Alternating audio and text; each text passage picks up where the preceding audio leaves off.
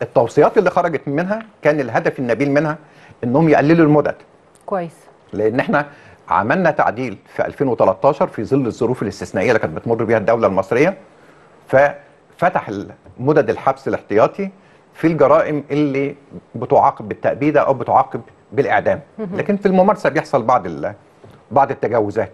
فكان الحديث كله منصب على إن إحنا نقول إن مدة الحبس احتياطي حد الحد اللي تبدأ بيه ثلاث شهور والحد الأقصى تبقى سنة أو أربع شهور وتبقى آه، سنة ونص أو آه، أربع شهور و و18 أو 18 شهر. لكن في النهاية في اتجاه عام داخل الحوار الوطني لخفض مدد الحبس الاحتياطي. مش. بس خفض مدد الحبس الاحتياطي ووضع إطار زمني للتحقيقات يعني ممكن يبقى الحبس الاحتياطي سببه إيه؟ سببه إنه القائمين عليه بيحاول يعمل نوع من التوازن بين حق المتهم وحق وحق ال- وحق المجتمع. أوكي. فعشان يعمل ده بيبقى عايز يبقى فيه حبس حبس احتياطي. البدائل اللي مطروحه كانت موجودة في القانون في 2006 لكن بندور لها على صيغة. بدائل الحبس الاحتياطي مهمة جدا. أول بديل ليها هو منع ال- المحبوس احتياطيا من مغادرة مسكنه أو موطنه.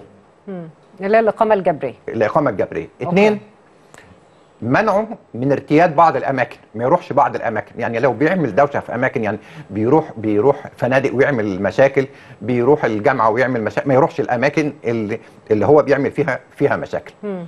كمان يروح ال- الاسم كل يوم أو المركز في توقيت معين يوقع إن هو إن هو موجود. المراقبة الشرطية. المراقبة الشرعيه دي دول ثلاث ثلاث حاجات. طيب نضمن نعمل دول إزاي؟ لما كان تعداد السكان عدد سكاننا قليل كان. سهل إن إحنا نعمل ده. يعني عندك شيخ حارة وشيخ بلد وشيخ غفر وعمدة وبتاع بنقدر نعملها. لكن في ظل تعداد السكان يتجاوز 110 مليون بقى في طرق جديدة. بعض الدول العربية سبقتنا سبقتنا فيها وإحنا قاطره الشرق في هذا في هذا الأمر. فاطرحت فكرتين. الفكرة الأولى مرتبطة بالاسوره يعني اسوره تتبع. آه يعني بتتعمل بشكل تقني أو ابلكيشن يبقى على على التليفون. على الموبايل. وفي الحالتين خروج خروج. المتهم شبر واحد. شبر واحد مباشرة يدي الحق لل للجهة الإدارية إنها. تقبض عليه وتنفذ ال وتنفذ وتنفذ عليه الحبس الاحتياطي. طيب أنا سؤالي يمكن إحنا كنا قبل كده حضرتك معايا في مداخلة يوم الجلسات واتكلمت عن آه، فكرة التطبيق الفعلي. يعني إحنا لما نيجي نقول إن إحنا هن- هنركب اسوره مثلا أو هنعمل application أو whatever احنا بنتكلم عن كده جهات تانية دخلت وزارة اتصالات مع وزارة الداخلية مع يعني حاجات كتير بقى هتدخل طبعا. في بعضها. التطبيق على الأرض هل إحنا عندنا من الامكانات اللي تخلينا إن إحنا نف- ننفذ هذا هذه التوصيات؟ يعني عايز عايز أقول لك إحنا الكلام سهل طبعا. طبعا. يعني إحنا دي والتوصيات دي ممكن تكون أيوة سهلة. دي دي آمال وطو آمال وطموحات. آه. لكن الأمانة تقتضي برضو إن أقول لك إنه مؤسسات الدولة بتشتغل على الموضوع من بدري. كويس. وبقى وكان اللي مطروح هو هندبر موارد مالية منين؟ عشان نضمن. نضمن ده. الموارد المالية دايما هتتدبر من الغرامات اللي بيتم الحكم بيها أو من الكفالات اللي النيابة أو المحكمة يعني بتفرج عن المتهم على ذمة القضية. على ذمة القضية. فالكفالات والغرامات يمكن منها عمل ال عمل عمل الاسوار أنا عايز أقول لك البعض كمان ده بيطرح أفكار الناس بتطرح أفكار جديده إن داخل مراكز الاحتجاز الجديدة يتعمل فندق. ويتحبس فيه ال- المحبوس احتياطيا على اعتبار إن المتهم بريء حتى تثبت إدانته لأنه بالتجربة عشرات بل مئات يبقى موجه ليهم اتهام وبعدين يطلع يطلع براء. عشان كده كان فكرة التعويض مهمة جدا. التعويض المادي والتعويض الأدبي.